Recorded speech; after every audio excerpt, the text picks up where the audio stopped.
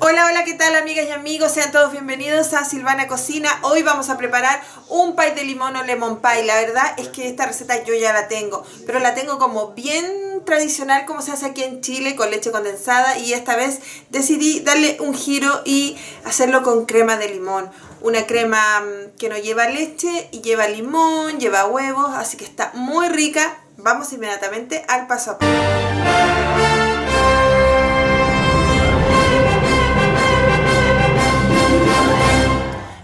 Comenzar con la masa de nuestro lemon pie o pie de limón, que en esta ocasión ya les dije va a ser inspirado más como lo hacen en Estados Unidos porque le vamos a poner una crema especial. Y también la masa esta vez la vamos a hacer un poco diferente en el sentido de que la mayoría de las masas de pie de limón eh, parte de un, de, una, de un arenado, ¿no? De harina con mantequilla muy fría, agua muy muy fría. En este caso vamos a partir de un cremado. Entonces, tengo aquí mantequilla blanda sin sal. Voy a agregar azúcar impalpable o azúcar glass, azúcar flor. Voy a agregar la ralladura de un limón. Voy a agregar una cucharadita de esencia de vainilla. Y bueno, ahora vamos a comenzar a batir hasta que esté bien unido, bien cremosito todo lo que hemos agregado en la batidora. Y en mi caso vamos a poner a trabajar en esta ocasión a la señora Pink Lady.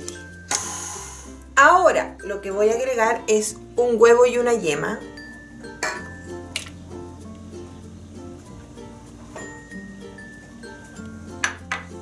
Y vamos a batir hasta que se incorpore súper bien. Bien, ya está listo el, cremado con el huevo, mantequilla, azúcar, ralladura. Entonces, aquí tengo la harina a la cual le voy a sacar una cucharada. A mí me gusta siempre hacer esto en el pie, en los kuchen. Le saco una cucharada y la reemplazo por una de maicena ahora lo revuelvo y ya lo agrego acá. Siento que le da como una suavidad más a la masa. La harina se pone más fina. También voy a agregar una pizca de sal. Voy a mezclar. Voy a agregar mi harina aquí adentro. Voy a batir en velocidad baja hasta que esté bien unido esto. Ya está lista la masa y ahora la vamos a pasar a un plástico de cocina la vamos a envolver bien y la vamos a dejar reposar unos 30 minutos como mínimo a una hora para poder estirarla. Aunque no es necesario estirarla, si quieres la fonzas directamente después en, tu, en tu molde. Bien, ha pasado el tiempo ya, así que voy a estirar mi masa. Ya te dije que si no quieres estirarla, la puedes ir fonzando dentro de tu molde. Puse harina aquí abajo y voy a comenzar a estirar.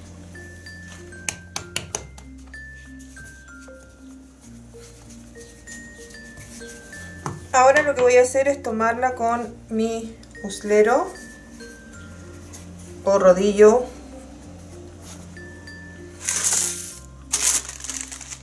Voy a ponerla en el molde. Ahora con la parte trasera de un cuchillo voy a ir sacando los excesos y los excesos por supuesto te sirven para hacer galletitas, para hacer eh, mini tartaletas también podrías hacer de esas de cóctel mini pies. Voy a poner aquí, pinchar por aquí. Voy a llevarla al congelador 20 minutos y en esos 20 minutos ponemos a precalentar el horno a 170 grados. Ya pasó el tiempo de refrigeración, lo tuve sobre 15 minutos.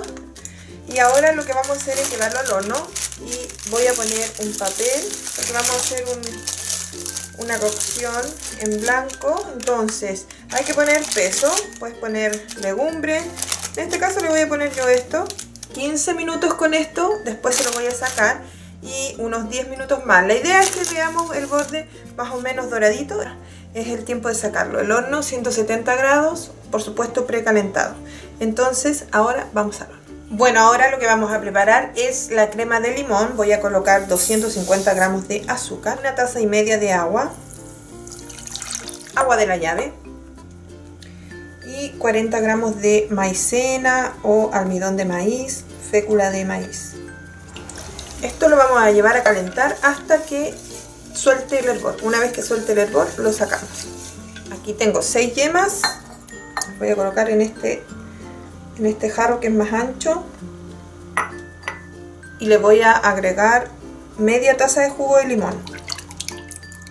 A esta preparación le vamos a agregar la maicena con el azúcar y el agua que llevamos a punto de hervor. Esto ya soltó el hervor, entonces voy a agregar un poquito para que se atemperen las yemas. Bueno, ahí es suficiente y ahora lo devuelvo todo aquí adentro para... Ahora vamos a cocinar las yemas. Entonces ahora vamos a revolver hasta que suelte el hervor otra vez y ya apagamos y lo vamos a agregar en nuestra base de pie. Entonces ahora vamos a agregar esto y vamos a colocar plástico film de cocina en contacto. Una vez que esto ya esté frío, lo pueden meter al refrigerador una horita así para que quede bien firme. Mira, aquí ya está listo el merengue suizo. El paso a paso lo puedes ver en mi video que hice exclusivamente para el merengue suizo y en las cantidades que ocupé para este molde, para este pie, te los voy a dejar por aquí pasan y en la descripción del video. Entonces, ahora yo lo que voy a hacer es sacar de aquí porque está en el molde. Voy a ponerla en este plato. Lo voy a despegar del molde y lo voy a dejar acá. Como ves, así quedó el molde. Voy a sacar el plástico. Y ahora lo que voy a hacer yo es poner en una manga pastelera de mi merengue, pero antes voy a poner una capita por aquí. Y encima voy a hacer una decoración, la típica decoración, así.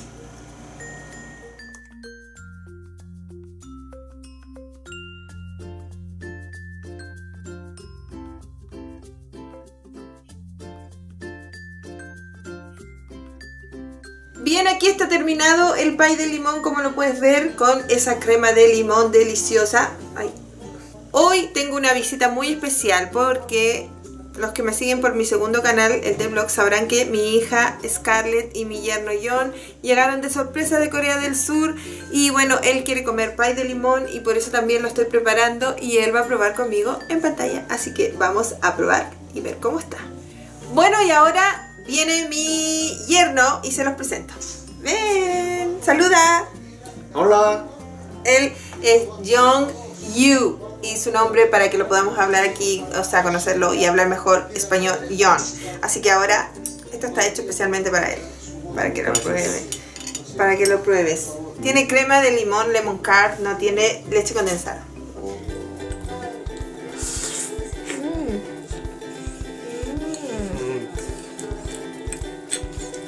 Muy rico. Muy rico.